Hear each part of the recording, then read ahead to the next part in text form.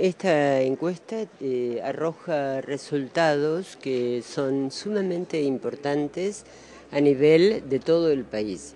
Se ha aplicado a mujeres y varones de 15 o más años de edad y de alguna manera es continuación, podríamos decir, de otras encuestas que se han hecho en el pasado, como la de factores de riesgo de 2008 o de 2005 inclusive, o sea que es un tema que venimos siguiendo y lo que se observa es una disminución importante en el consumo por parte de eh, sectores sumamente relevantes de la población.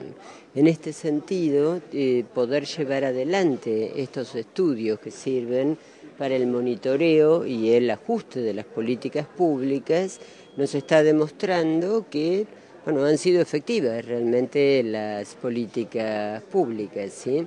El hecho de que la ley haya sido reglamentada en el día de hoy es una eh, interesante casualidad, le diría, con vistas a intensificar la campaña antitabaco. El Ministerio de Salud realmente ha tenido liderazgo y, creo que el hecho que tengamos ahora una reglamentación de la ley eh, a dos días ¿no? de este evento es una prueba magnífica del trabajo que se ha realizado y, eh, y del delito ¿no? que hemos logrado aquí en Argentina. La importancia sanitaria que tiene el consumo de tabaco como causa importantísima de morbilidad y mortalidad en todo el mundo.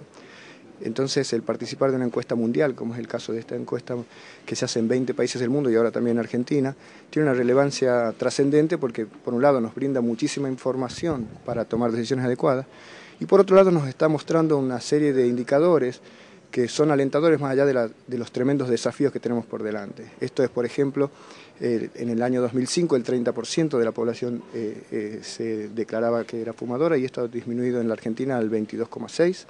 Esto estamos hablando de casi un millón de personas que han dejado de fumar en la República Argentina. Más allá de que la cifra pretendemos que baje mucho más, eh, está marcando una, una tendencia a, su vez, cuando uno evalúa en esta encuesta el, conocimiento que tiene la población acerca de los problemas relacionados con, el tabaco, hay un alto grado de conocimiento, sobre todo en los jóvenes. Así que toda esta información, teniendo en cuenta que mañana es el Día Mundial sin Tabaco a nivel global y que tenemos una excelente noticia en el día que se ha reglamentado, en el día de ayer, la ley de, control del tabaco en la Argentina. Realmente nos parece que desde lo sanitario estamos frente a un antes y un después del tabaco en la Argentina.